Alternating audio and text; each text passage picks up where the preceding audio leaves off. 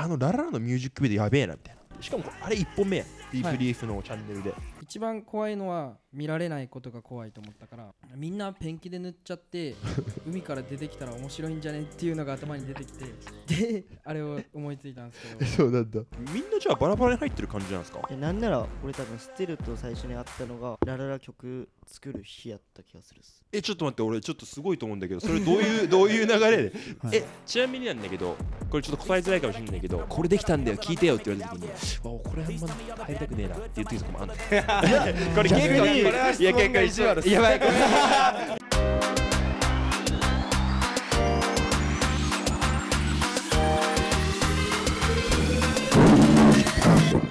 はいということで今回のゴールデンラッシュポッドキャストのゲストは福岡九州出身の8人組のグループディーブリーフからお三方来てもらってます。お願いします。よろしくお願いします。お願いします。お願いします。ちょっと多分メンバーが多いので一人ずつちょっと自己紹介だけ。それとなんかそのアピールしたいポイントをちょっと一口ひ一口つけてくれたらなと思うんですけど。アピールポイント。アピールポイント。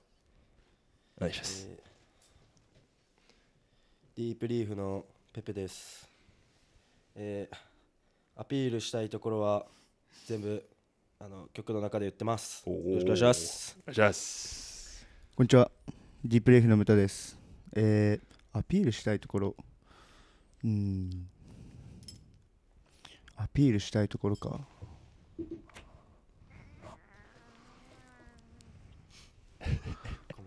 うーんまあパパワーを見てほしいです パワーだ。パワーね。パワームーブですね。パワーオッケーですオッケーいいっすね。ありがとうございます。ジータです。アピールしたいところ。う ん声です。おお確かに。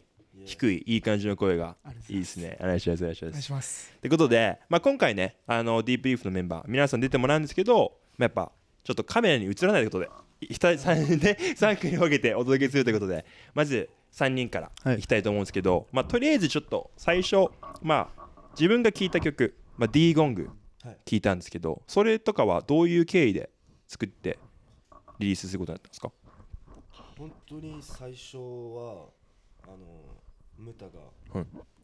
あの僕ら福岡にスタジオ自分たちでへ1個持ってて。はいはいはい。でそこでいつも普段こうデモで撮ってでそこから良かった曲とかをみんなでピックアップして、はいはいはい。それをまた別撮りで制作してなるほど。って感じでいつも作ってるんですけど、はいはいはい。まあ、その曲もその最初ムタがそれをそれこそそのスタジオで撮っててうんうん。で俺がちょうど帰ってきたタイミングでなんか出来上がってるはい。いい感じのバース作ってたんで、はいはいはい。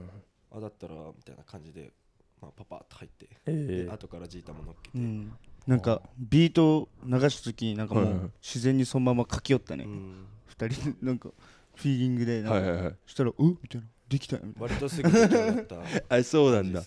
えー、結構曲パパッと作っちゃうタイプいやなんか曲にもよるっすけど、うん。まあなんか自分が聴いていいなとか思う曲とか、うんうん。みんなが聴いてこれいいねってなるのは大体パパってできる曲ですね。へえうん。そうなんです確かねになんか振り幅あるっすけど、はいはい基本的にみんなパパッと作るタイプだとなるほどなるほど。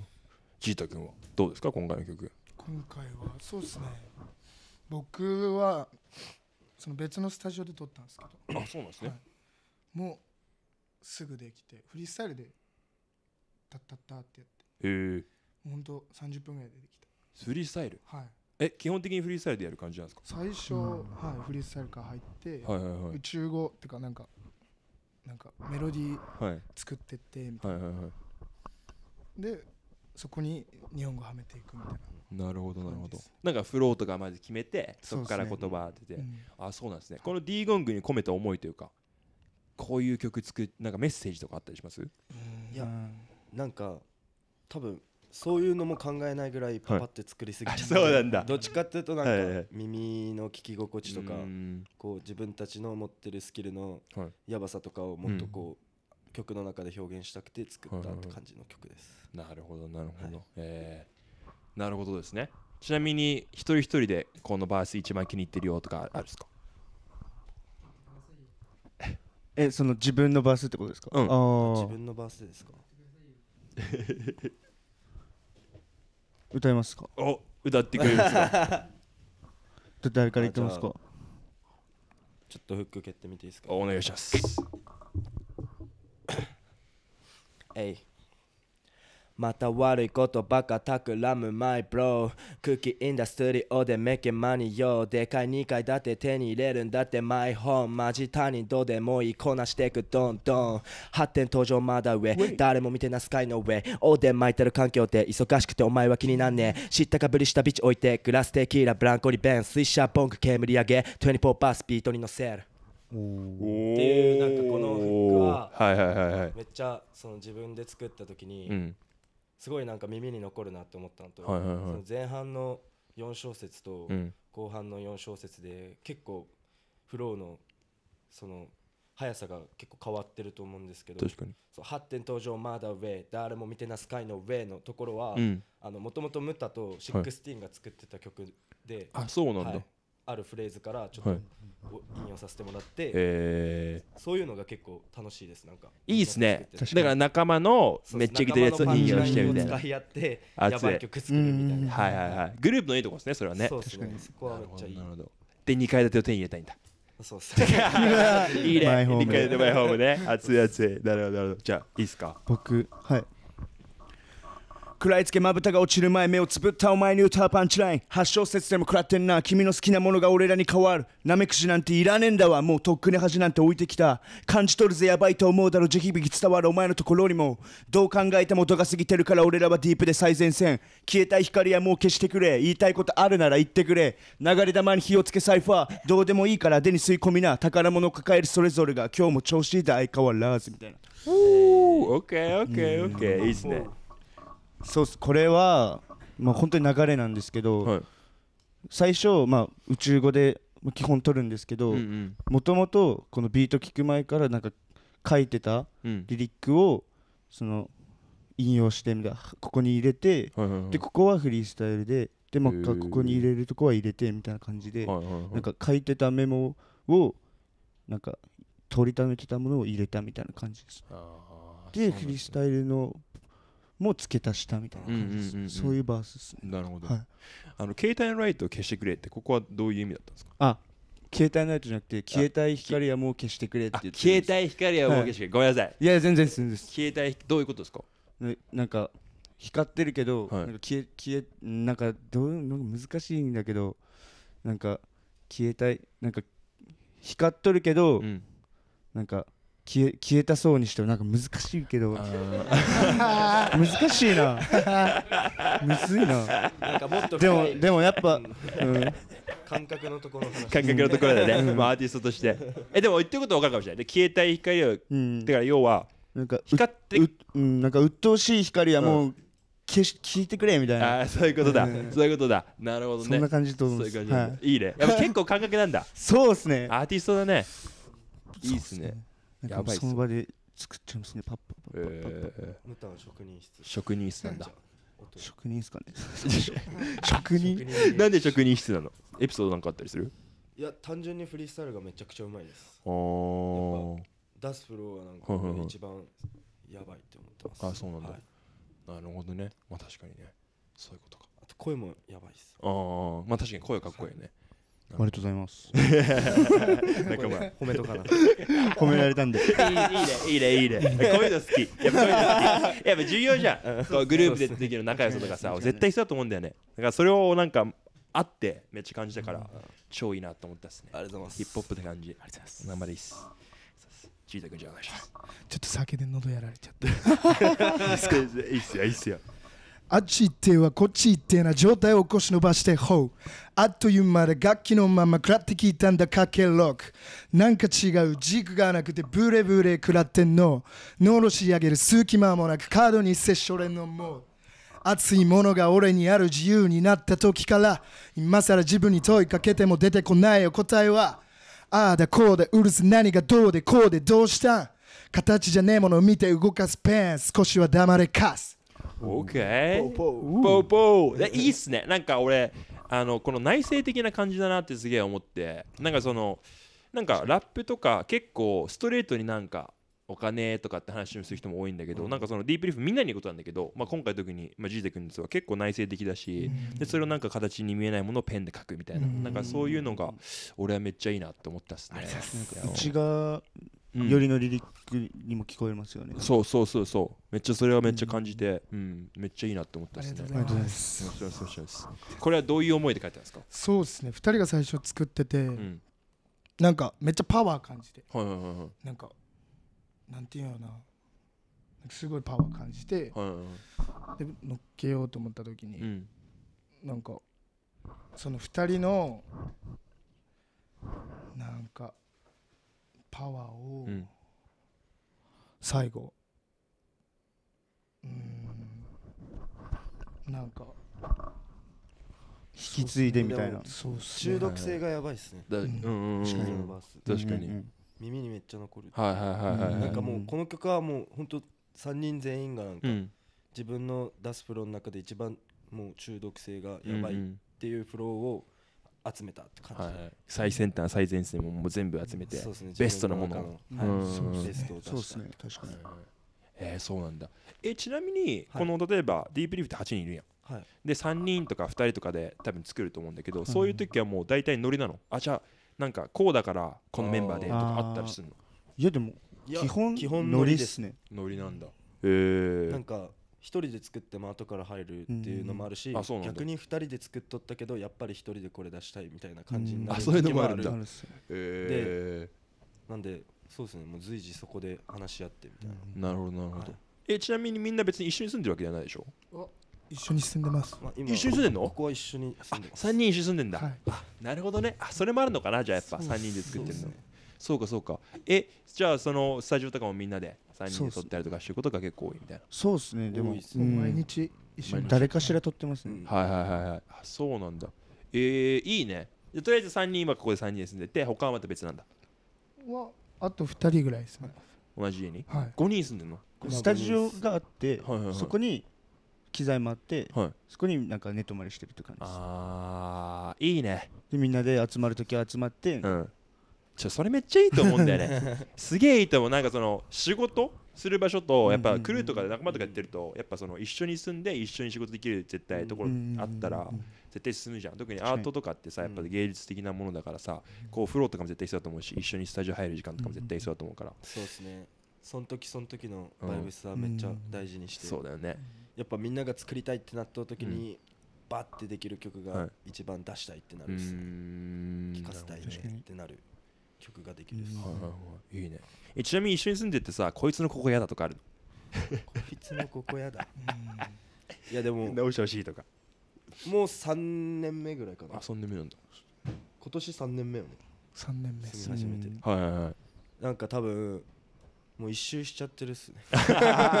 も あもう分かるからみたいな。う そういう感じあオッケーオッケーみたいな。あ電気消してみたいな。だ そういう基本的なところからね。とかまあ帰ってきて誰みんな寝とったら静かに電気消すとか毛布かけてやるとか。ああ優しい。みんななんかや優しい。やってるっすあそうなんだいいねいいね。重要だね。え喧嘩とかしないの？喧嘩？まあ。まあちょごくくちょくはあるっすけどうん。全部自分たちの中で全部終わるんで。別に。いいね。それが何か大きな問題になったりとかはないです。ああそうなんですね。えちなみにみんなで決めてるルールとかある？住んでる中でとか。で決めてるルール。なんか特に。ゴミ出しはこの人がサあラで料理とか。わかんないけど。そういう基本的なことが本当にもう基本適当やけん、うん。なんかその時 やるやつがやるみたいな感じにああそうなんだ。なったっすね。ああでも それがね。最初の方とかはやっぱ、うんみんなでやったりとかもあるじゃないですか、はいはいはい。掃除うん。ゴミ出しとか、うんうんうん。でもこうやっぱ時間が経つにつれて、うん。なんかある程度こう分かってくるからうんうん。なんかうまい具合になんか調和してるって感じはいはいはいですなるほどね。そんな感じそうだけいいねいいね。まあ音楽もね調和しないと作れないだろうからね。そうですね。いいね。羨ましいわ。俺はそのみんなで住んでるの楽しそうだなって思いながら。楽しいですね。楽しいっすね。楽しいな。間違いな。いいや楽しい。だよね。はい。そうだよね。孤独ではないから。確かにね。うん。うん。やっぱ落ち込んだ時も周りにいるしうん。いい時はみんなで分かち合えるしとかそうですね。あるよね。そうね。いいねいいね。えちなみにあの離れてよこれも3人で作ってると思うんだけどはい。はいはい。これはどういう経緯でできてどういうものをこれはもともと僕が、えっと、それこそスタジオ一人でいる時に、はいはい。もうそんな感じで作ってて、うんうん。で聞かした時のタイミングでバリいいねってなって、うんうんうん3人でやろうやみたいな、うんうんうん。でこれ一発目出そうみたいな、あそうなんだ。あそれが一発目なんだ3人でそうですね。ああなるほどね。いいねいいね。はい。なんか俺離れてよはあの TikTok の中西家の日常？そうそうそう。カレおばっていうだけ言われてるらしいんだけど。ねそれでなんかおばあちゃん今何聞いてんの？みたいな。で離れもういい離れてよ。それで見た見た。離れてておおそうおもろいと思って。え結構そっから来たりとかしてんのかなって俺思ってたんだけど。その実感はあんまない？でも少なからずめちゃくあると思います。増えてると思うんです確実に。結構見られてたんだって。20万とか見られてたと思うよ。はい。はい。うん。そうだよね。確かにえそれはプロモーションとか別にしたわけじゃないの？あれはどういう関係だったの？はもともとその撮ってるうん。人はいはいはい。のその16の高校の後輩で、あそのつながりりではいはいはいはい。なんか出してくれてみたいな。感じですああなるほどね、はい。そういう感じなんだ。そういいね。周りの地元のサポートがあったりするんですね。ごめんちょっと話変わっちゃったんだけど、うん。離れてよ。ごめんなさい。どうぞどうぞあなりますか。どういうどういうどういう風に作ってたのかなと思って。離れてよは、まあうん。離れてよって言ってるから、まあ、むしゃくしゃしてる気持ちを、うん。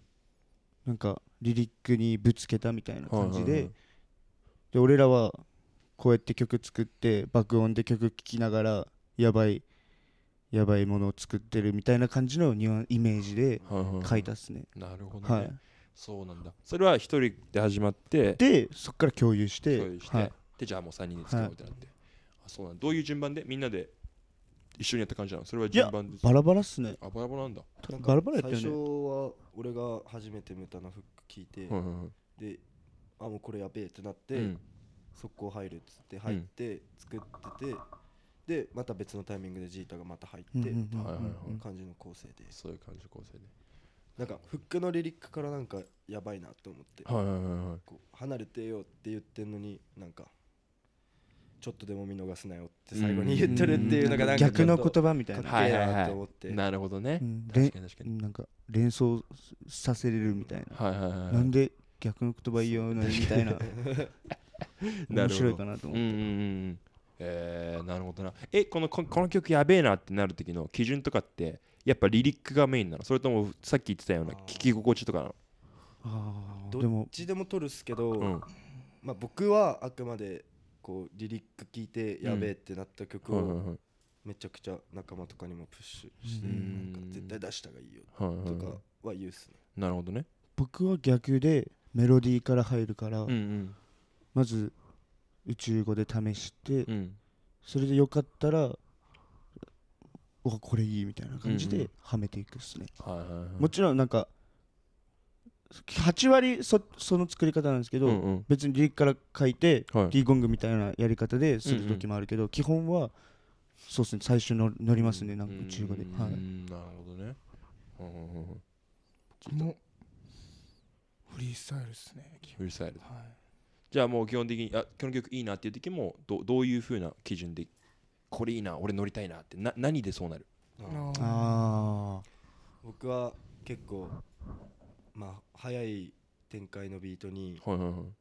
まあムタみたいなそれこそうん。ちょっとトリッキーだけどでもフローはみびっちりやっててうん。言葉まじまじ詰まってるみたいなはいはいはい。ラップめっちゃ好きで。なるほどね。うんうん。なんでそういうこう自分が一番気持ちよくバース乗れそうな曲とか聴いた時とかは一番入りたいってなる。確かに。うん。確かに確かに。メタははい。どあ僕あ。うあで同じ？同はい。じ感じ、そうっすね。同じ感じ？そうそうっすね。あそっか。ジータどう？いやー。僕も一緒一緒な感じだ。ねはい。はいはいはい。なるほどね。あじゃあいろんなまあいろんなものあると思うんだけどあこれだったら自分のバースの人は気持ちよそうだなっていうのがやっぱうん。一番。そうですね。うなんか。んでなんかもうなんか聞いて一発目でもう入りたいってなります、うんああそうなんだ、確かにはい。えちなみになんだけどこれちょっと答えづらいかもしれないけどこれできたんだよ聞いてよって言われた時にわこれあんま入りたくねえなっていう時とかもあんの。これ結構逆にこれは質問が意地悪やばいごめんいやいやごめん。マジで申し訳ないんだけど多分これも聞きたいと思うんだよ。視聴者側からしたらどうなのかなと思って。確かに。そうそうそう。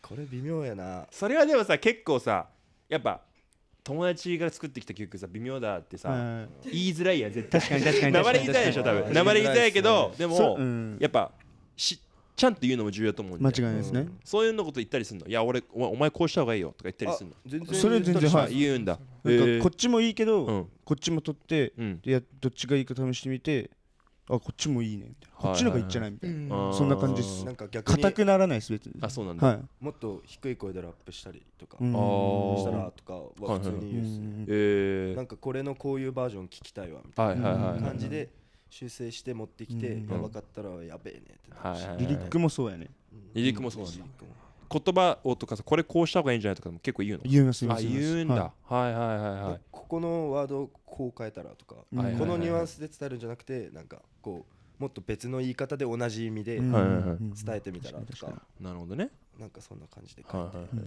そういうことか。試行錯誤っすねなんか。なるほどね。そうまあそういうのも時は結構手こるずるっすね。手こずるよねやっぱ言われ絶対ね。た側になった時もそうやしうんそうだよね。まあでも言えるような環境を作んないとねやっぱいないものを作るためにはね。そういうの難しそうだなっていうのはちょっと思った。ごめんめっちゃ意地悪な質問だったんだけど。すげえ気になったから聞いちゃったんだけどそうそうそう。そっかそっか。えちなみにここからその3人で作っていくあの曲とかもあんの？これから。あります。おおのそれの話もちょっと聞かせてもらっていい？と一応頭の中で考えてるうん。あれとしては自分たち3人のアルバム出そうかなっては思ってて。3人のアルバムですはい。はいはいはい。で今はその制作の準備段階みたいな感じで。どんどんピックアップして。はいはいはいはい。あそあそうやね。PV も出んの？タイムっていうタイムっていう曲がタイムっていう曲が。それはいつぐらいに出る予定ですか？それはもう来月には。頭。11月の頭。には配信。ビデオ。配信だ。はい。この本編出てる頃には多分出てると思うんで。ぜひぜひ Check it out これも3人で作ったやつですか？はい。じゃあそれがまあアルバムに入る感じでもあるの。そうそうですね。そっかそっか。そういう流れで PV さめっちゃ撮ってない？めっちゃ撮ってます。めっちゃ撮ってるよね、はい。なんかこれちょっとまあここからのあれでも聞こうと思ってたんだけどあんなに PV 撮るの大変じゃないのかなっていうのはもう個人的な感想ね、なんかそのそれこそ福岡のはい。あの先輩にうん。紹介してもらってはいはいはい。であのアドクリエイティブっていう福岡のプロデューサーチームがいるんですけどはいはいはい。そこのえっと海星君っていうはい。カメラマンさんを紹介してもらってほいほいほい。であのーその子とまあ俺らががっつり息があって、うんなんかめっちゃ大変大変なのは大変なんですけど、うん。実際撮影始まったらもうほんとすぐ終わっちゃって、うん。めっちゃスムーズで。なんかえ。なんかいいですね。カメラマンがめちゃくちゃこうクリエイティブなんで、これもっとこうしたいとか、うんこう自分から言ってくれるから、ああいいねそれね。あそれじゃあこうしようこうしようみたいななんかこうアイディアをぶつけ合ってみたいなはいはいものがどんどん生まれていくから、うん。なんかすぐ終わっちゃってるって感じです、うん。自分たちからしたら。結構周りからもそれ言われるんですけど、そうだよね。最近めっちゃ撮りようねとか言われるんですけど、なんか俺たちからしたらなんかもう楽しい楽しいでやってることやけ、うだったなんかそんな大変とも思ってないです、はいはいはいえ。ー、なるほど。そうなんですね。すごいなと思ってて。ミュージックビデオめっちゃ出してるから。ってことでね。まあちょっと短いあれだってあったんですけどあちょめっちゃ噛んでんだけど。でもまあちょっとねあのまあ残りのメンバーもいるんで、はい。はい。とりあえずじゃあ選手交代ということで。選手交代で。ありがとうございます。ありがとうございます。じゃあ皆さんタイムチェックお願いします。チェックお願いします。お願いします。じゃあ次に行きましょう。はい。ということで皆さん途中なんですけども現在ゴールデンラッシュポッドキャストはね。スポンサーどんどんどんどん募集中です。例えば食べ物屋さんだったらねゲストのみんなと食べてみるそれをまあね一つねあのポッドキャストの途中で出したりとかまあ服だったらねあの出演中に来たりとかまあいろんなねあのことができると思うんでぜひぜひねスポンサーしたいよとかこのチャンネルサポートしたいよって人がいれば連絡してほしいと思います。下の方にね自分のインスタグラムのリンクも貼っておくんでそこからメッセージいただけるかまあ E メールかあの何でもいいのでねぜひぜひメッセージくれればなと思います。スポンサー大募集中です。ぜひぜひ連絡お願いします。じゃあプログラムに戻りましょう。Let's go! はいということで選手交代で3人組入りました。よろしくお願いします。お願いします。一人ずつ自己紹介とアピールポイントをね言ってもらったなと思いますのでよろしくお願いします。えー僕がどこのカメラこれでいいですか？こっちで大丈夫です。ディープリーフのステルって言いますアピールポイントはリリックの内容だったりまあタトゥーとかですかね。よろしくお願いします。ディープリーフのブランディです。よろしくお願いします。アピールポイントはそうですね妄想が激しいところ。ですねよろしくお願いします。大丈夫ですこの後めっちゃやりづらいな。めっちゃやりづらい。あと Deep Leaf のディアラックです。アピールポイントは？あ曲によってひ低いダミ声みたいな声を出したりとかうん。する曲もあれば高い声でラップしたりとか。はいその使い分けれるとこですかね。おおいいですね。お願いします。お願いします。お願いします。ということで今回ねあの3人で出てもらったんですけどまあどうしようかな。じゃあ3人ではまだ曲作ってないもんね。そうですね。そうですそうです。はい。こっからは2人ディアラックとスティールが曲を作るんで。すはい。それはちょくちょく曲に曲に入ってくるみたいななるほど。一緒に曲は作ったりはするんですけどはいはい。はい EP には今回は入ってないですね。その EP はいつぐらいに出るんでしたっけ？は11月の中旬か下旬くらいにははいはいはい。5曲入りでグイグイで。落とさせてもらおうと思ってます。楽しみです。ってことでまだ3人で出してる曲とかまだないと思うんだけど、はい。じゃあディープリーフが今まで出した曲の何でもいいんだよ曲。そのうちのなんかお気に入りのバース1個。なんか、まあ、まあ LINE かなんかちょっと教えてもらえたらなと思うんですけど。それだったら。あじゃあいいですか。いいっすよ。生まれた時点で意味はなかった。熟するために自分を固めた。一人の夜咲く抜け出す街灯白紙のノート譲れない鉛筆。ここですね。お一人のうん曲で「うん。 Mean って曲がはいフはい。ァーストアルバムの曲5曲目に入ってるうん。曲でそこのワンフレーズ目のフックの一番上のところをうんうん。今歌わせてもらったんですけどはい。そこは結構ファーストアルバムが出るってなってうん。自分どんな曲を一番最初に出そうかなと思った時に、結構自己紹介をしようかなとか思って一番最初にうんちょっと弱いところもさらけ出して、うん。でそこからいろんな展開に持っていきたいなと思ったんでそういう曲を選ばせてもらったって感じではい。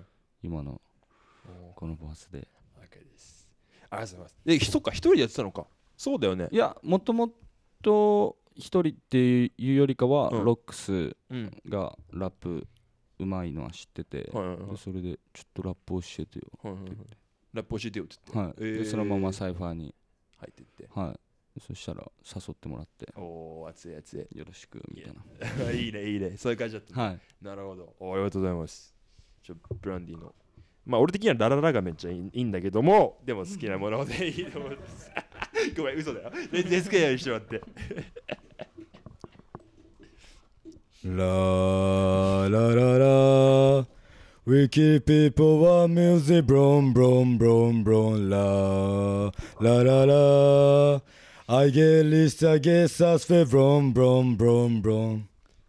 すごいよな。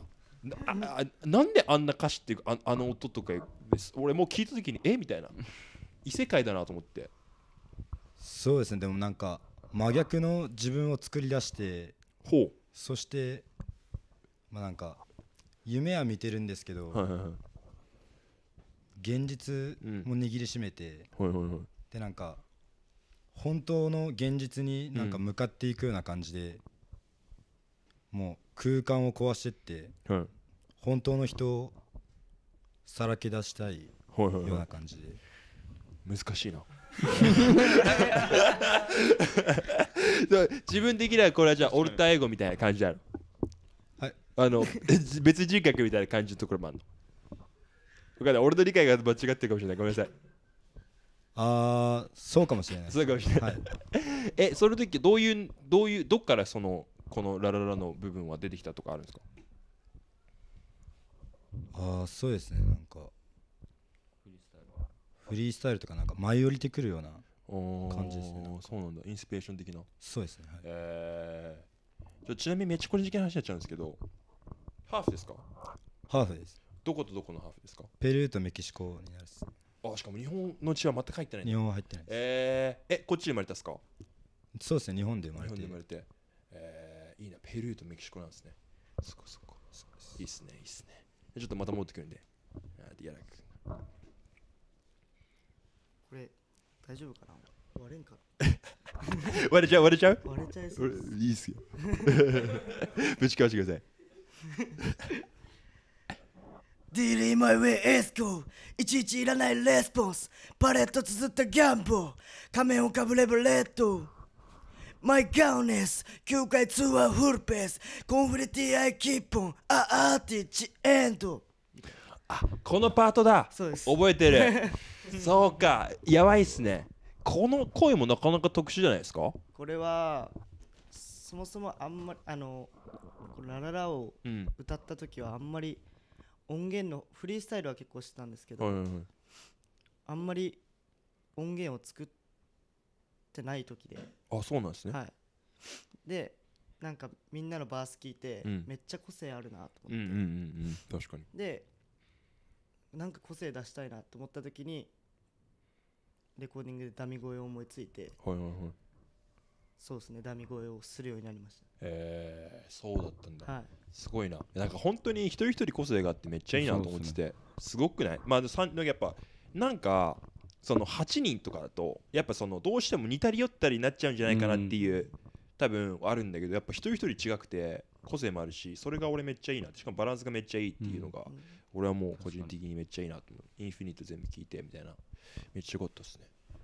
そうですね。いやもうありがとうございます。ありがとうございます。こちらこそありがとうございます。そっか。えちなみになんですけどこの3人は同じ一緒に住んでるんですか？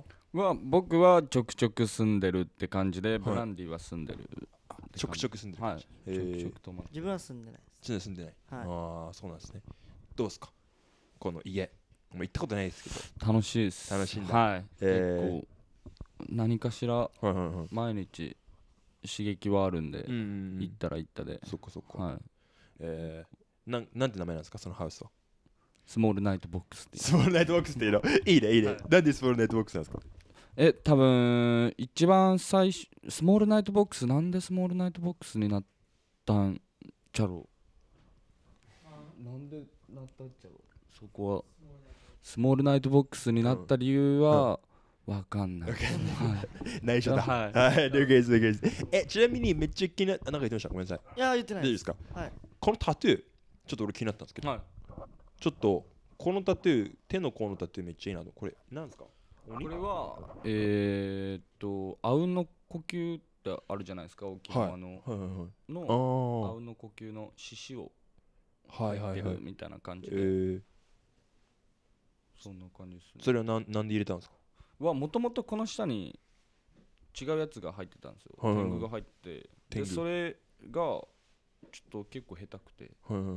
あの適当に頼んだとか でうわどうしようってなった時に、そしたらそのよくしてくれる人が、うんうん。なんか掘っちゃうよみたいな新しいの。お上からおいいとみたいな感じで、そしたらこれ掘ってくれて、えー、その流れで、はいはい。じゃあ右も掘るみたいな。はいはいはいはいはい。あじゃあ右も掘って ってなってその日当日にこのデザインが決まって、そうなんだ。これこっちも入れてもらったみたいなはいはい。え感じになる。タトゥーをもうその場で持ってってあじゃあじゃあこんな感じでっていう。そうですあのデザインは結構当日まで知らなかったりとかもえー。す。すごいね。でこれでお願いしますみたいな。勇気あるくないですかそれ。まあ確かに。そうですよね。なんかその時は何も考えてなかった。今はちょっと考えてるんですけど、なるべく。その時はもうとりあえずなんか入れたいなみたいな。い先走って入れちゃったっすねこうそうなんだ特にはえ。いまだまだいっぱい入れるっす。ー、いいっすね。首もちょっと入ってるですもんね。少しっすねここも。少し。もう全部入れたいんですか？ここも全部入れていきたいですね。最終的には。いかちいな。いいっすねいいっすね。福岡って感じっすね。そうですね。いいっすねいいっすね。えちなみにブランディさっき妄想？が激しいみたいな。はい。なんどういう妄想するんですか？言える範囲にそうですね。確かに。最悪 P 入れちゃうかもしれない例えば、うん。なんかビリー・アイリッシュとかのはいはいはいなんか曲聴いていてまあクラシック、うん。まあ、リラックスするような。はい聴いててうん。でなんかこのメロディーだったら例えば誰かが裸になってうん。踊ったらはい。面白いのかなみたいな。例えばスティルとかがなんか口紅を塗ってでなんか あのなんか目やったっけあのメメイド？はい。メイドみたいな。うん。でなんか巨乳巨乳みたいななんか膨らませてでなんかでなんかお尻だけ出してからなんかこうやって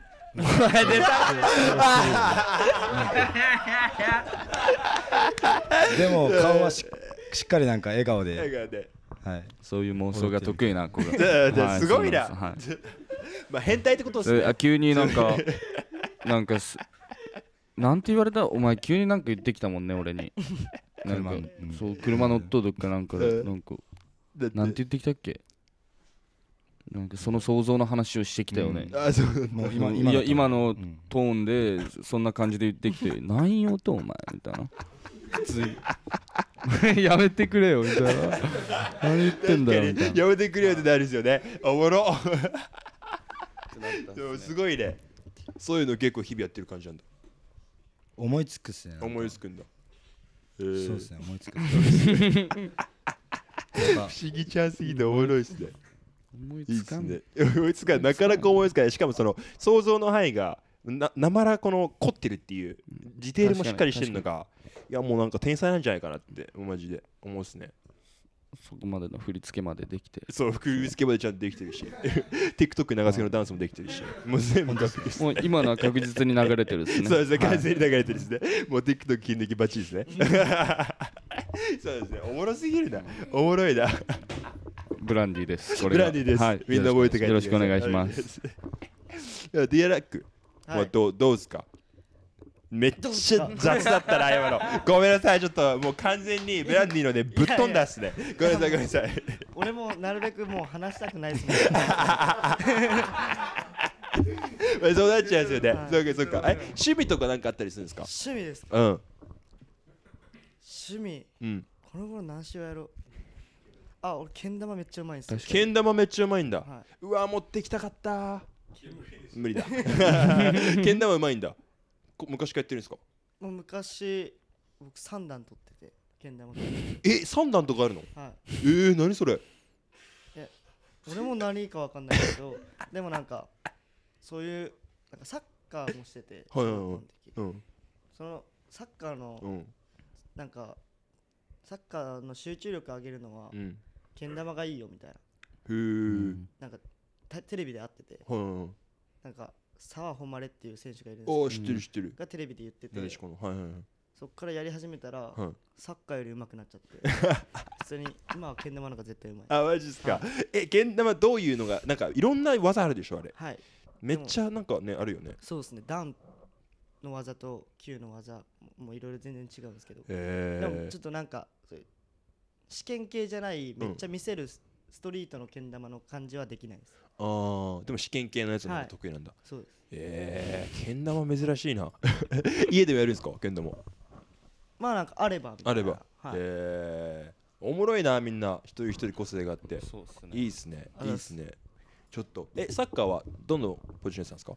サッカーはえっ、とサイドハーフっていうウはいはいはい。ィングですね、ウィングだミッドフィルダーの方？そこら辺とか。のあっちの方だ。はい。いいっすね。しばらくやってたんですか？はい。結構サッカーガチでやってました。えー、そうなんですか。でもラップに転向してみたいな。そうですね。いつからラップやってるんですか？ラップ17歳とか。え。ー、最初はやっぱフリースタイルサイファー上がりだったんで、あそうだったんですね。はい、それこそロックスとかとはいはいはい。一緒にやったりとかしてなるほどね、はい。えブランディンいつから始めたんですか？ラップは。19歳ですね。19歳えーフリースタイル上がり？サイファーからですか？サイファーからっすね。えー、もうみんすもう最初からこのメンバーでたの最初はあのまあ、さっきインタビューしとったんですけど、あのムタうんうんうんうん。と一緒にやってて、カラオケから始まってからはいはいはい。誘われてから。はい。でその後もまあ誘われるようになってまたはいはい。一緒にラップしようよみたいなってなって、うんうんうん。で自分からも誘うようになってそうっすね。でそっからいろんな友達に連絡して、うん。まあ、つながっていくような感じ。で、うん。そうっすね。そっからロックスとまた出会ったりとか、そういう感じだったんですね。はい。えー、いついつ頃からやられてるんですか？僕も17とか、うん。そのくらい1718くらいの時にうんうん。一人で最初一人でや初めて。はいはいはいはいはい。どうやってできるとかやな えでも最初はどうやって勉強したんですか？その一人だったら結構大変じゃない？は最初僕その時は福岡の中にある北九州ってはいうちょっと離れたところで一人で。ちょっと仕事で就職で行ってて、うわみたいな思んねえみたいな。めっちゃブラック企業でみたいな。あれ思んねえみたいな。これ人生つまんないなとか思って、俺人生本当何したいかなとか思った時に、ヒップホップしたいわと思って、えー音楽したいなと思って、でそっから一人で YouTube で調べてでそっからビート調べて最初、はいはいはい。でそこからあラップしてみようと思ってそこから一人でラップしてて、うんうん。でそこで福岡でうまいの誰かなってなってロックスで。でそこでロックスに連絡みたいあ自分で？なはい。DM とか元と知り合いとかじゃなくて？はい。そっから友達が間にいてはいはいはい。で紹介してよって言って紹介してもらってね。でそこからつなげてもらってはいはいはい。でサイファー行ってみたいなその流れで行けました。そういうここに。えてかみんなじゃあバラバラに入ってる感じなんですか？そうですね。実結構。結成したのはいつぐらいなの？結成したのは2010 2000年の8月？な何なんで言うとんのなんでなんでお前生まれてきた生まれてきたお前の誕生日やん2000 2020年のお前の誕8月生日お前それはもう出会っとうね。んすみません間違えました。から出会っとうねんそれは。2000年ではないよ。18年19年じゃないですかね。多分18 19年はい多分そのくらいに出会ってるんで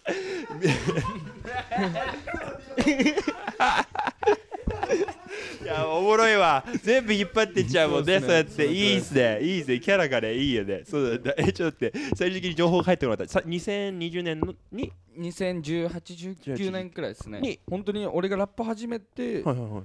34ヶ月後くらいにはうん。ロックスの隣にはいたんですか？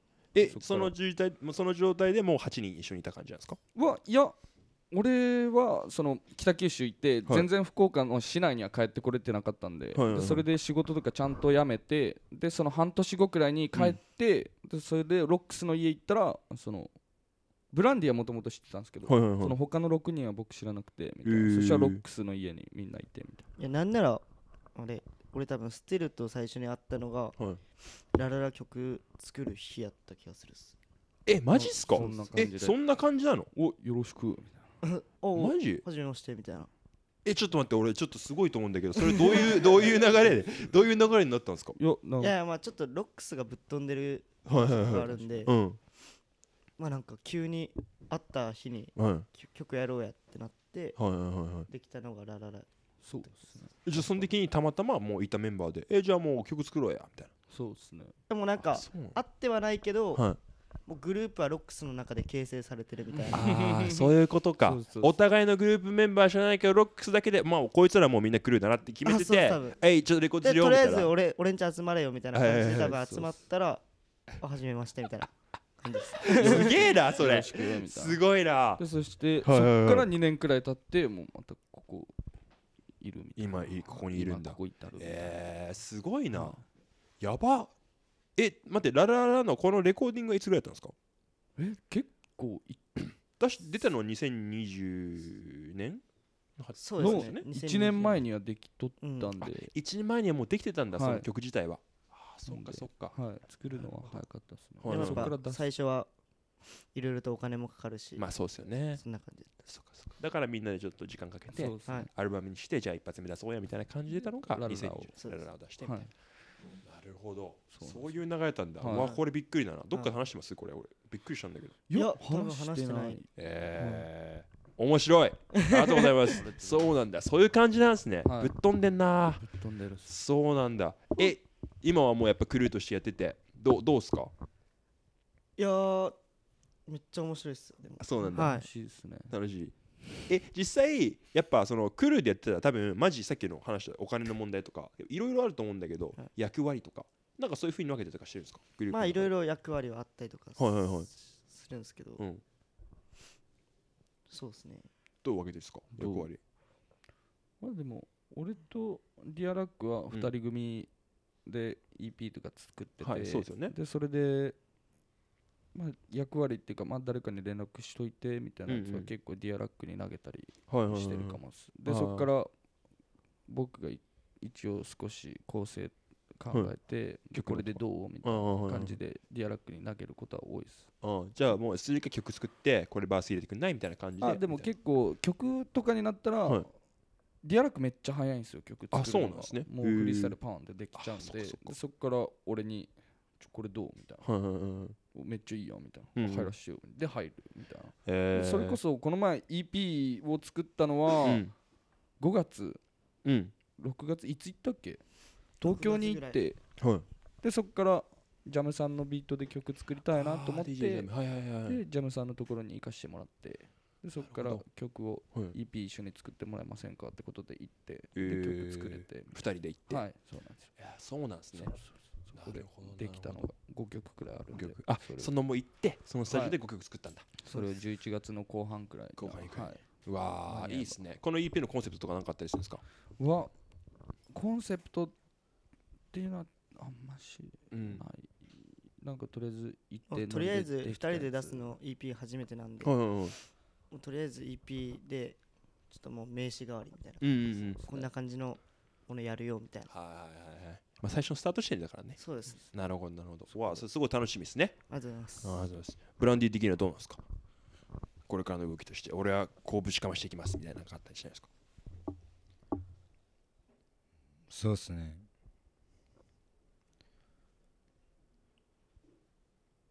本当の現実に向かっていきたいですねなんか。え どういうことですかそれは なんかすいません、ね、いや面白い。俺はめっちゃ面白いと思うんですよ。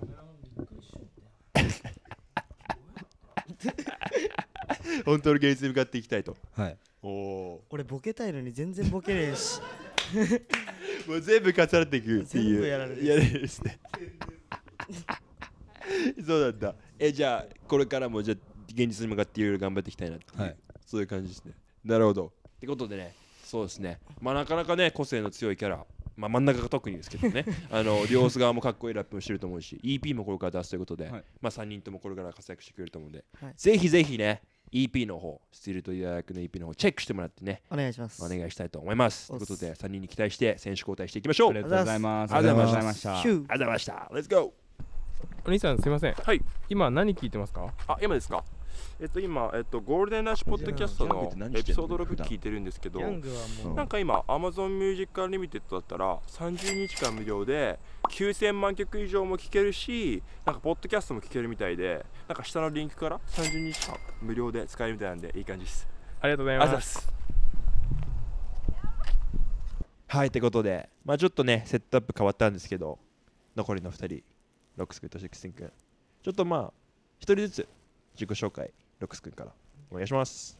Deep Leaf のロックスブラックバックです、えー Deep Leaf のリーダーです。よろしくお願いします。お願いします。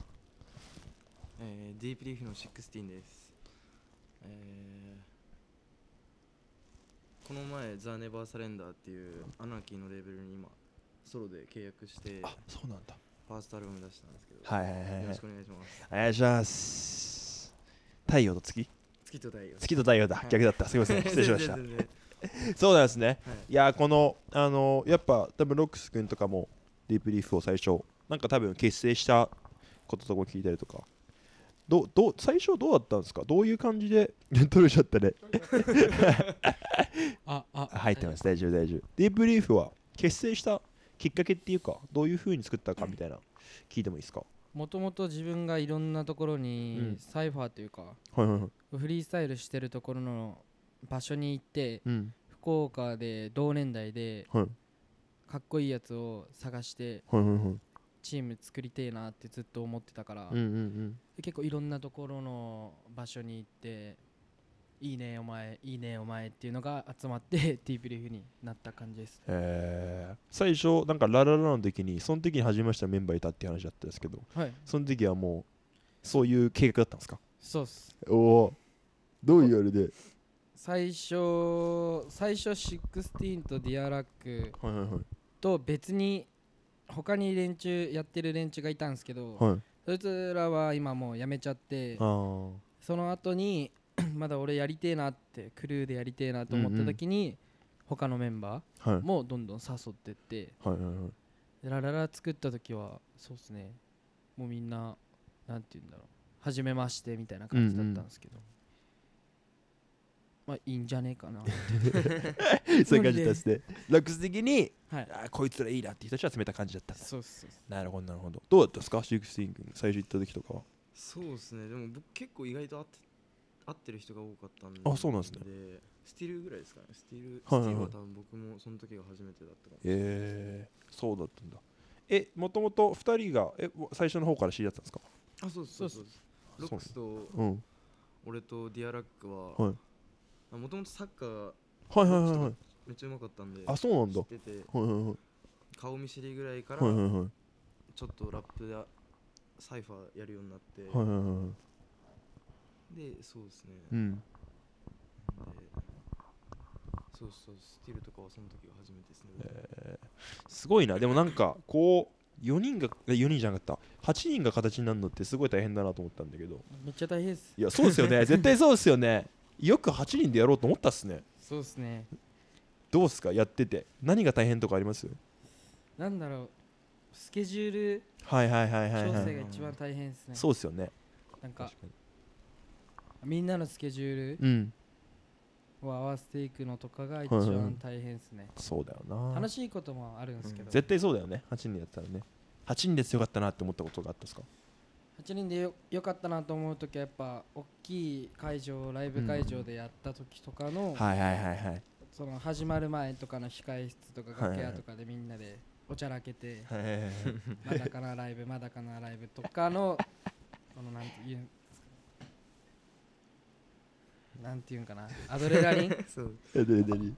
ラッシュ出るライブ出る前ぐらいのアドレナリンとかがやっぱやってて楽しいなと。はいはいはいはい。しかもなんかでかく見えるのがいいなと思うそうだよね。だってで8人いると。そうだだってステージとかでね一人でアーティストやってるよりかは8人ガッて出てきたらもう絶対迫力違うもんね。そうですねそうですね。それこそあれこの間のザ・ホープはい。出てたっすよね、はい。出ました。どうでしたか？楽しかったですね。楽しかった。あんなに気持ちよく歌えたのなかったですあねーそうだよね生ででかくなかった？でかかったです。でかかったっす。代々木第一公園代々木第一体育館。体育館だ、はい。どんぐらいキャバだったんですかね？そうなんですかね。い1万ぐらいですかね。すごっ。1万いるかいないかぐらいじゃないですかね。1万人の前でやるこの気持ちよさ多分。アーティストじゃないと感じれないでしょ、はい。えどうです今までで一番でかい？そういうことでもない？いやでも一番でかいかもね。ダントツですね。ダントツ？はい。おお一回豊洲ピットではいあの福岡の先輩のペールダスクっていうはい。バンドのグループがあるんですけど、はいはいはい。バンド？はい、バンドとそのペールダスクっていうグループが、バンドとヒップホップの融合、融合のイベントとかを一緒にやってくれてて、はいはいはい。それに呼んでもらった豊洲がこれまででで一番でかかったんですけど、はいはいはい。代々木で抜き抜いたっすね今。あーやばいね。そっかそっか。長かったっす。超楽しかったえなんかさちょっと話変わっちゃうんだけど、はい。俺そのディープリーフの曲とか聞いてて、なんかちょっとロックの影響とかもあんのかなっていう。あああります。え絶対あるよね。でリンダリンダとかさ、ドブネズミとかさああれは違う？あそうですね。絶対そうだよね。はいブルーハーツ。ブルーハーツだよね。好きっすね。好きなんだ。それはいロックスの趣味なの、そうですね僕の趣味です、はいはいはい。僕ジャンルもけいろんなジャンルも好きだし、うん。個性をディープリーフがいっぱいできてるのも、はい。みんな違う音楽聴いてるからだと思ってて。はいはいはいはいはい。ロックも好きっす。そうなんだ。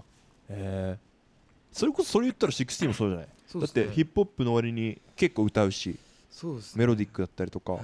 結構そのチルじゃないけどメロウな感じだったりとか、はい。なんかすごいディープリーフの中でも結構その特殊なじゃラップっていうこの分野で見たら特殊なのかなと思ったんだけど。そうですねなんか最初はビリー・アイリッシュとかはいはいはいはいはい。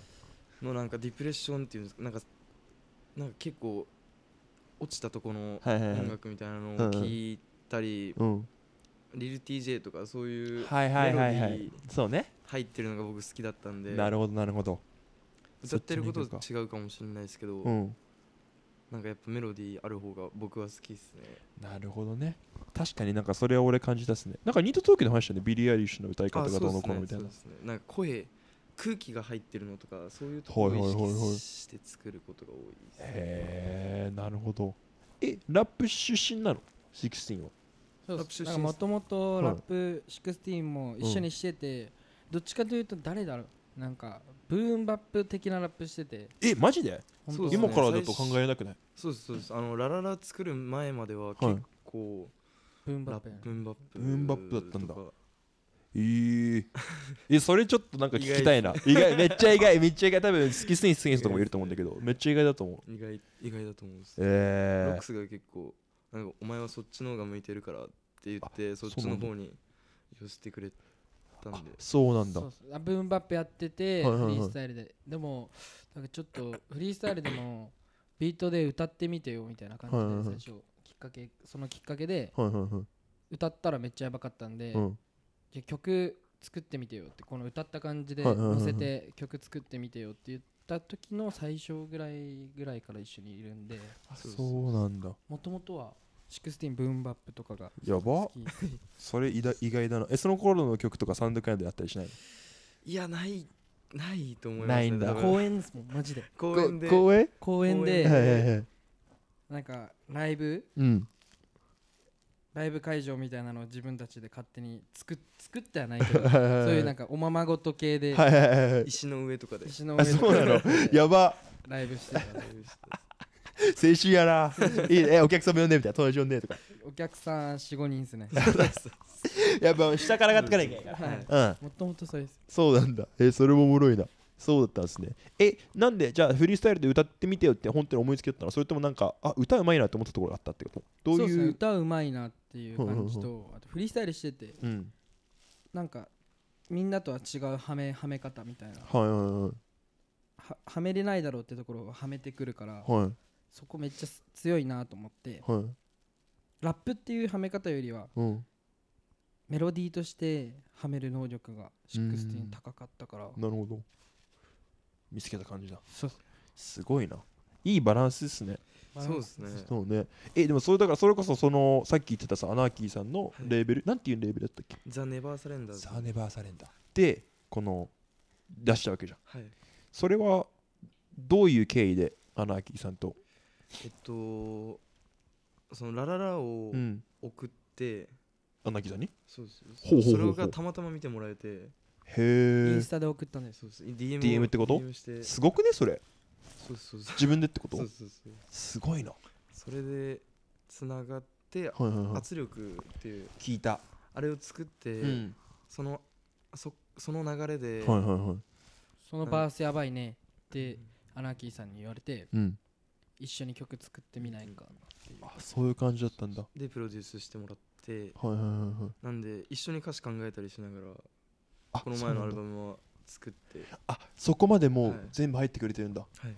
えー、すごいな。はい。なんであどうぞどうぞ。そうですね。なんか自分で今まで作ってた歌詞とかとうん。違う部分があったりして面白かったですね、え言い方が違うだけかもしれないですけど、うんうんうん。全然やっぱ分かりやすさとか、はいはいはいはい。届き方とかが全然これまでと違ったんで。なるほどね。えどうすか？そのやっぱもうアナーキーさんって言ったらさもう結構日本ヒップホップのもうなんかレジェンドっていうかもうね感じじゃないですか、そのそういうなんか狩り場の人と働くので、はい。なんか学んだこととかあったんですか？うーんまあでも人に届けるのが本当にすごいひど届届きやすさがまた全然違う。ライブとか見てたら本当に思うんですけど、ライブの前の、ん。そのちょっと喋る一言だったり、はいはいはいはい。手の動きだったりっていうのが、はいはいはいはいはい。本当に神がかってるなって思うんですね。なるほどね。パフォーマーだ、はい、そっか。そういうところと一緒にいることによって絶対自分としてもレベルも上がるしっていう。この先のことを考えてはいはいはい。見たらディープリーフとしてもうん。めちゃくちゃいいことだし、そうだね。なんか勉強できるし、うん。吸収できるし、はいはいはいで相談にも乗ってもらえるしああそうなんですね。いろんなことをはいはいはい。よくしてもらってて、へえ教えてもらってるっすね。ヒップホップいろいろ教えてもらってるいいっすね。いいっすね。えでも圧力とかは？圧力最初ディープリーフみんな出てるじゃんね。あれバースあるじゃないですか。あれはどういうなんか経緯で作ることになったんですか？最初このビートを送られてきて、はい。どうしようと思った時になんか自分的に一番自分が勢いあるなと思ったんで、はい。フック行きたいっつって。で最初ペペから始まるんですけど、はい。ペペは結構ラップがタイトというか、うん。リズム感もいいからリズムキープがちょっとどっちかというとスピードも速い組がはい。前に来て、それほど速くない組を後ろに持ってこようみたいな話になって、おーはいはいはい。順番がペペムタ、えーペペムタ俺。シクスティーン。16でジータ。ジータ。えー、っと。スティルブランディディアラックアナキーさん。アナキーさんだ。アナキーディアラク。アナキーさんディアラックそうかそうか。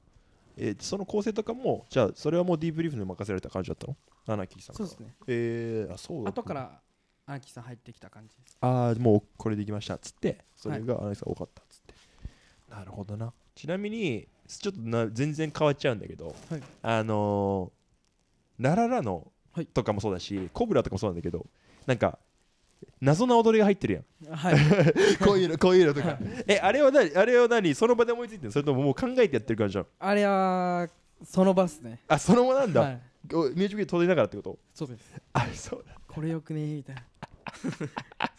そうなんだ。俺あれがなんかそのディープリーフ的にはなんかディープリーフらしいっていうかすげえおもろいなっていうでも結構思いつきでやることが多いですね。あそうなんだ、はい。結構思いつきなんだ。曲とかも結構思いつきみたいなさっき話してたけどそれはどうそうっすね。なんかもういろんな作り方作り方結構変えることが多くて。はいはいはなんでい本当になんか時間めっちゃかけて作る時もあるし、はいはいはい。パッて作る時もあるし、はいはいはい。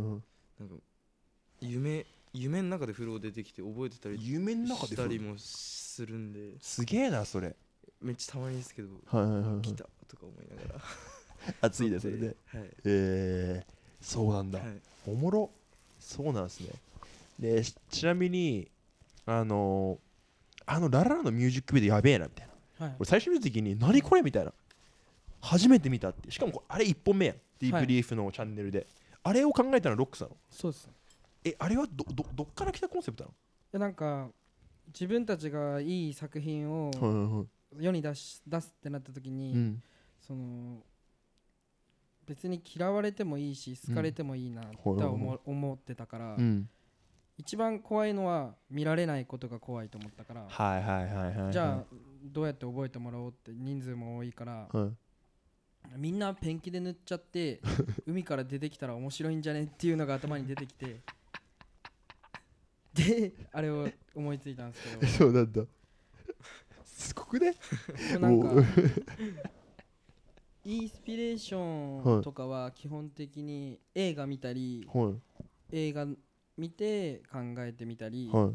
あと夢の中であった話はい。を夢が覚めた時にメモ帳に書いて、はい。その夢の面白い話を取っといて、はいはいはいはい。このまま MV につなげたりします。へえそうなんだ。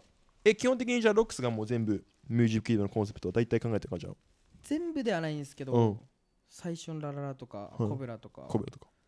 ノートに 自分で書いてましたこういう。そうなんだ。流れにしたい。やばいやもうななんていうのもう頭おかしいっていうかでもそれめっちゃいい意味でねいい意味でだよ。すすごい個性的だしなんかあそこまでやっぱさラップやってるとさどうしてもそのまあかっこいい文化だしかっこいいと思うんだけどやっぱかっこつけようとしちゃう人とかも結構いると思うんでね、はい。でもやっぱさっき言ったみたいにインパクト残すのってすげえ重要だと思って、やっぱヒップホップのプレイヤーとか増えてきてるしなんかそこをもう割り切ってじゃないけど振り切って思いっきりやってる姿勢に俺はもうあめっちゃいいなって思って、あそう。1回目聞いた時になんだこの曲ってなって正直好きなのか嫌いなのか分かんなかったのさ。最初聞いた時は。でも3回目ぐらいからもう中毒性やばくて。おいラーラーラーラーっつってめっちゃ聞いてて。この曲めっちゃいいなみたいな。コブラって思っててそうですぶっといジョイント。2歳のバカみてえなくてジョイントマーク。マジですごいね。いやでもめっちゃいいなと思って。俺すごい好きっすわ。めっちゃ。正直俺全然知らなかったんですけど。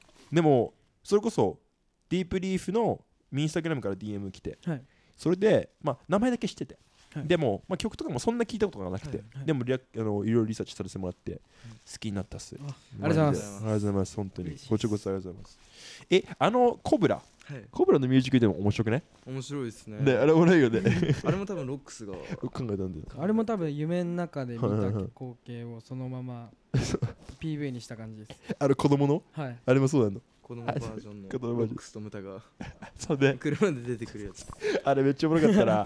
あれもすごいなと思ってコメントとかにさあ最初この子供が歌ってるのかと思ったってなわけないだろうと思ったけどでもこの子供がマジでぶっていジョイントとか言ったらもうめっちゃおもろいなみたいなのはあったよね。そうだね。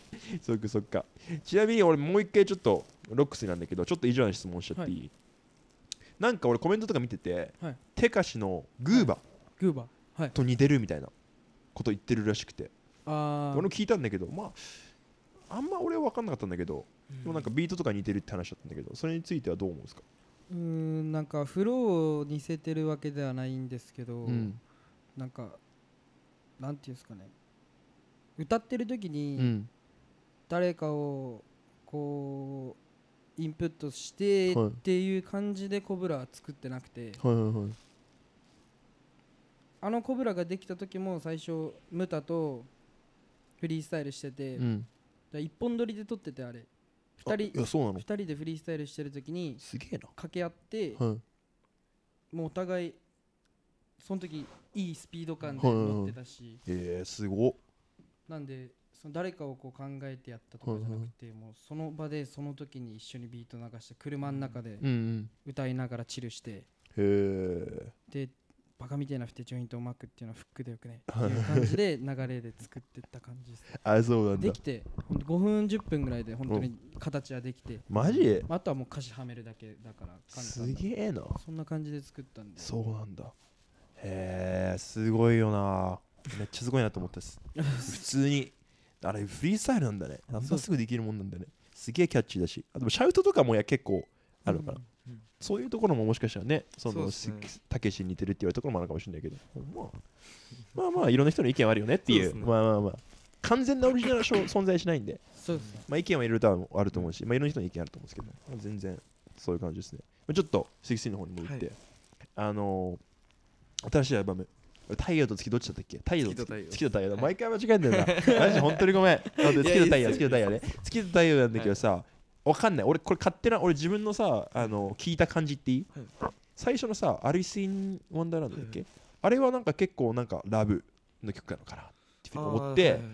でも最後が、はい。ね、月と太陽じゃん、はい。なんか悲しいじゃん、はい。だからなんか恋愛の付き合い始めて終わりなのかなって俺勝手に思ったんだけどそういうわけじゃない。でもそれもちょっとあるっちゃあるる。あそうなんだ。はい。なんかうーん。そうなんかディープリーフでも出した、はいディープリーフで出したイントロって曲があるんですけど、あれがなんかちょっとすごいなんか原点な感じで本当に僕のイントロインうんトロ始まったとこみたいな感じなんですけど、うんうんうんなんでそういうその月と太陽もすごいなんか自分のキャラっていうか、うんうん。こ個性ができてる曲だと思はいうんで、はいはいなんで最後にしたって感じですあそういう感じだったんだ、はい。なるほどね。えー、じゃああの順番とかは、はい。まあ、なんとなくそのどうどういう順番で決めたの？でも曲とかはさ。曲はそうっすね。うんアナーキーさんと一緒に。そうアナーキーと一緒に。一から。そうですね。聞きながら。はいはいはいはい。どうどういうふうに？まあでも「アリス・イン・ワンダーランド」は1曲目っていうのはすぐ決まってあそうなんだ。はいはいはいはい。そうっす。なんか始まりっていうか。うん。うん。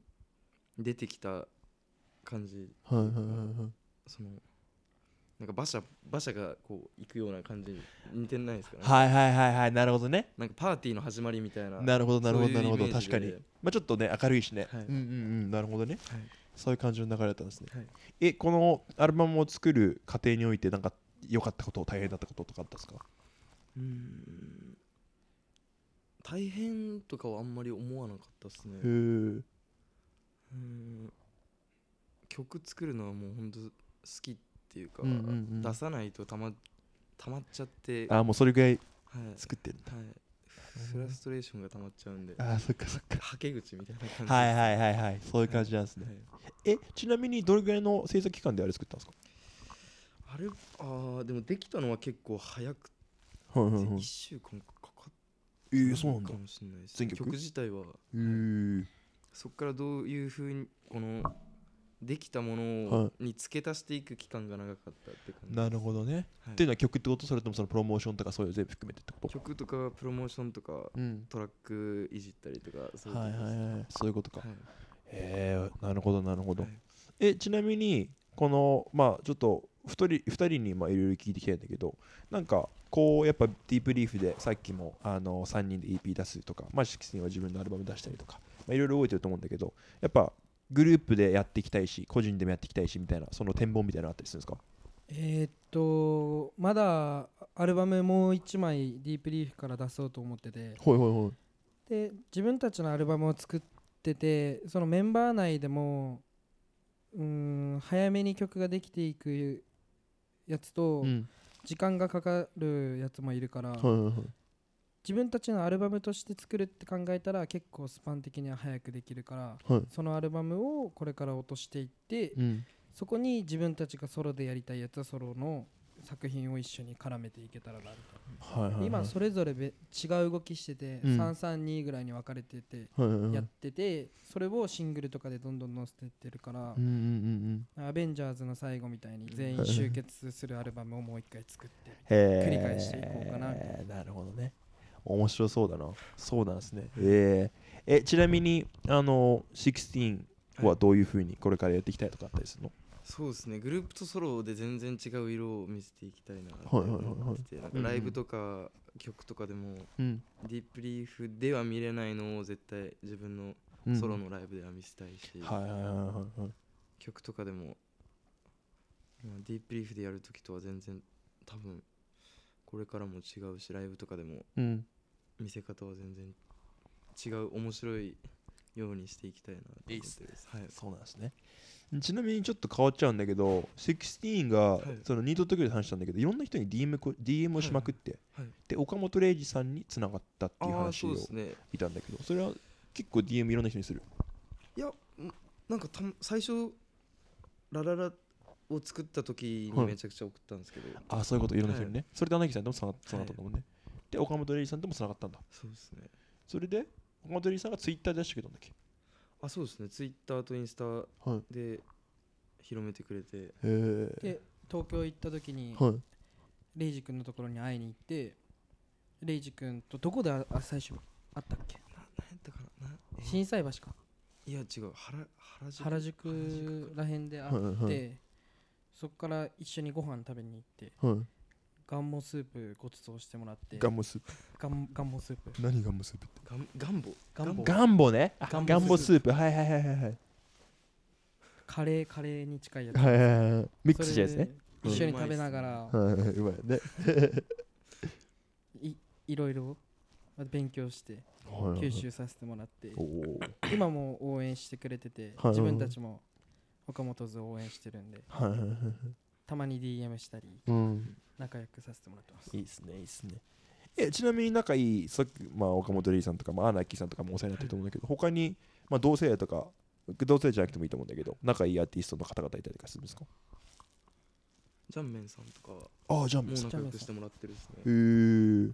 ザ・ネバーサレンダーズで。あジャンメンさん。はい。はいはいはいはい東京来た時一緒遊んでもらってるですね、いつも。ああいいっすねいいっすね。ラーメン食べにラーメン食べに行ってんの？トーンステーキ。トーンステーキ？ステーキ食べに行ったり。いろんないいもの食って、はい。うまいもの食らしてもらって食らしてもらっいやいいっすねいいっすね。えでも結構じゃあ東京来ることも多いんですか？そうですね。でもでも基本福岡ですね僕たちは。いつも。ベースは福岡だよね。ライブライブとか制作の時だけこっち来て。はいはいはいはいいろいろやってる。こ定型心地いいですよね福岡が福岡がやっぱり心地いいんだ。そうっすあー。まあでもそうだよね。基本自分たちはライブがない時はあんまり外に出かけなくて。はいはいはい。その目立目立たずにはい。やることやって、はい。自分たちが主人公とか主役の時は外に出るんですけど、それ以外はもうフードかぶって 帽子も深くかぶって街を探索してて スタジオ行って、それ以外はもう目立目立ちたくないな。あーそうなんだ。多いんですよね。えなんで目立ちたくないの？めんどくさいからじゃないですか。あーでも結構 え結構話しかけるよやっぱいろんな人から。とかもそうですね。まあそうだよね。なるよねそうなる福岡だったらななりますね。そうなんだ。そっかやっぱ外にはあんまり出ないのはなんかちょっと俺も気持ちは少しだけ分かってなんかまあ別にそんなことないんだけどでもなんか俺もその TikTok やっぱ TikTok 見てる人多いのかな？やっぱ若い人で。多いですね。やっぱ多いよね、はい。マジで俺 TikTok 使わないのさ。投稿してるだけだから、はい。俺は見ないんだけどやっぱ見てくれてる方が結構いて、いや札幌？地元とかははい。結構その、ねクラブ街とか行ったら結構話しかけてもらえたりとかして。最初めっちゃ嬉しいんだけどやっぱ途中からめっちゃプレッシャーになってくるっていう。そうそうそうそう。とかあるじゃん。しかもうわ今日調子悪い顔みたいな。だからとかあるとかそういうのもやっぱある感じじゃん。そうですね。あとなんか恥ずかしい部分とかうん。を見せれるのはディープリーフとかじゃないはいはいはい。と見せれないから。はいはいはいはい。そういう部分とかもやっぱいい距離感でみんなうんうん。一緒にいいてるからそうね。大事にしてる確かに。心が許せる仲間が重要ってことですね、クラブとか行かないですか？お二人は。そうですね。でもまあちょくちょくん。遊び行ったりぐらいですね。はいはいはいそうなんだなんか俺これ聞いた話なんだけど、はい。あれ北九州なのかな？福岡はクラブの女の子率が圧倒的に高いみたいな話俺聞いたことがあってそうなんのかな？みたいな。でも可愛い子はめっちゃ多いですね。あそうなんだ。福岡美人みたいな。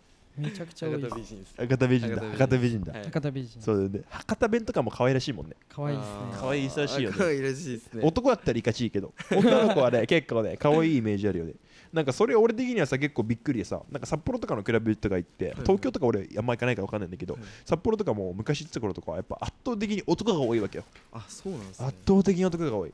なんだけどやっぱなんか福岡は女の子が大量にいるみたいな、まあ、大量にいるって言い方悪いなマジで。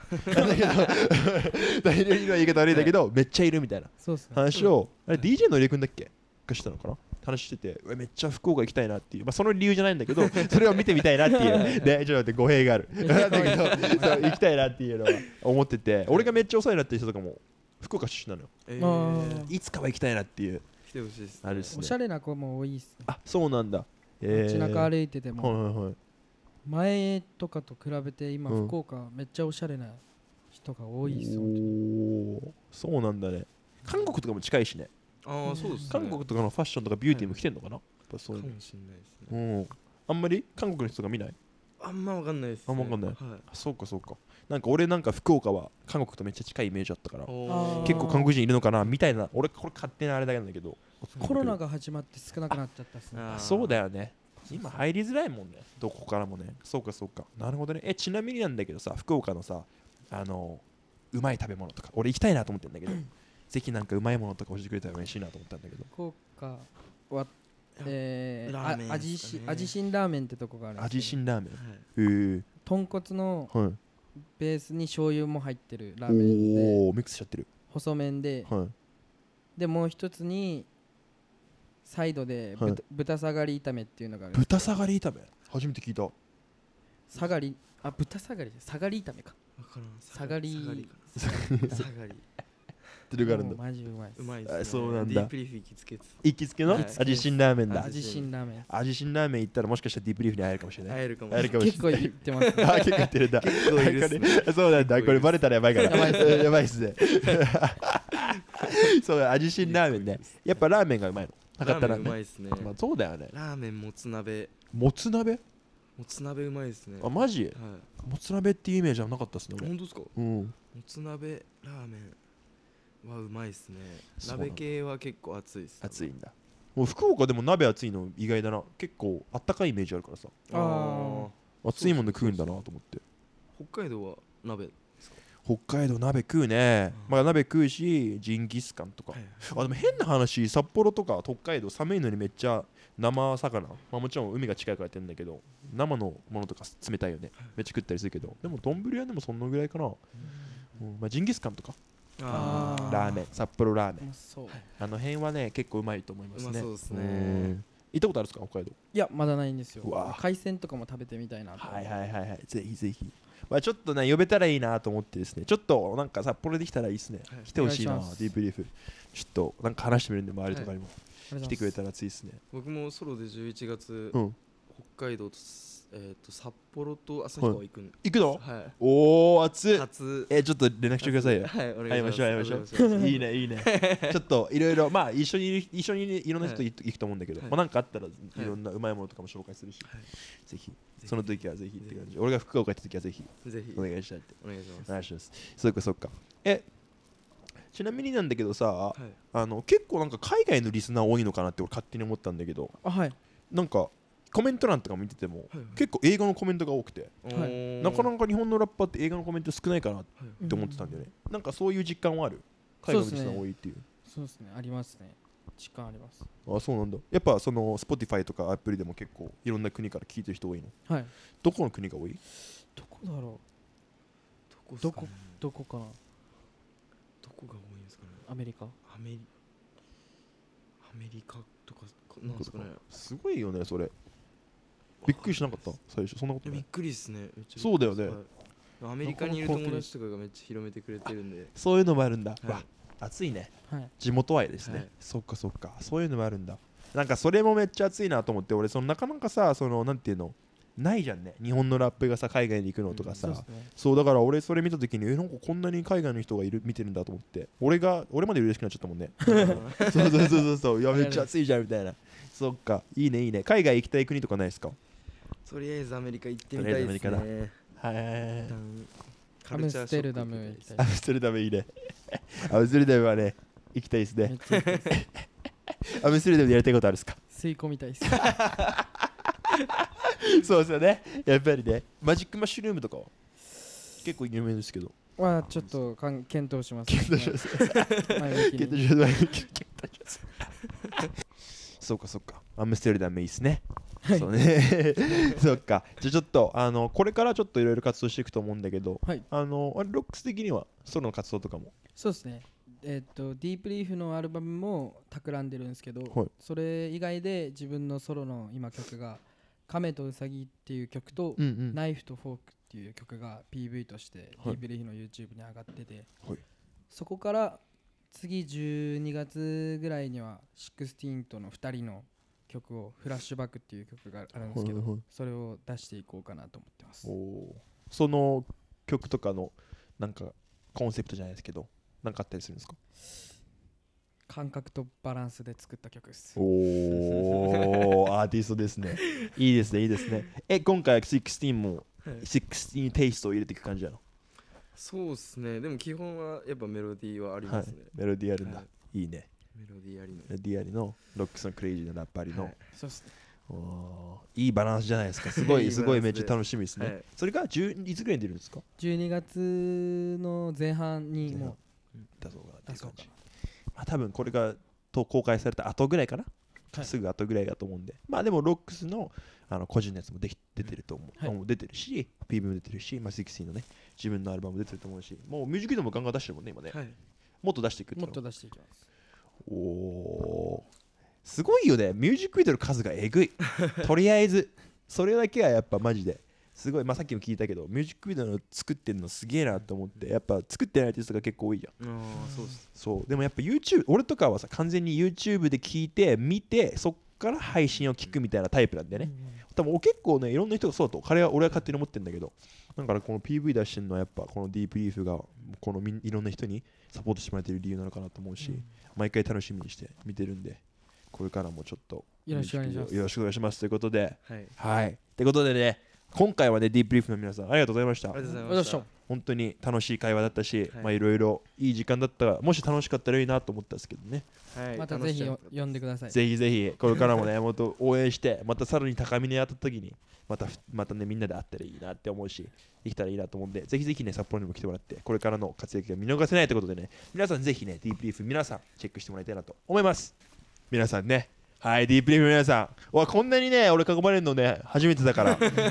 でも楽しかったです、今回。本当にありがとうございました。ということで、ディープリーフの皆さんです。ありがとうございました今回はありがとうございました。また次回お会いしましょう。ピースなんと、ゴールデンラッシュポッドキャスト、スポンサークラブ始めます。あの、このゴールデンラッシュポッドキャストなんですけど、編集とか手伝ってくれてる方もいるんですけど、まあ、基本的に2人体制でやってて、なかなかね、自分たちベースが札幌なので、あの撮影のために東京に来たりだとか、まあ、スタジオ借りたりとか、コストの方が高いわけですよ、これは。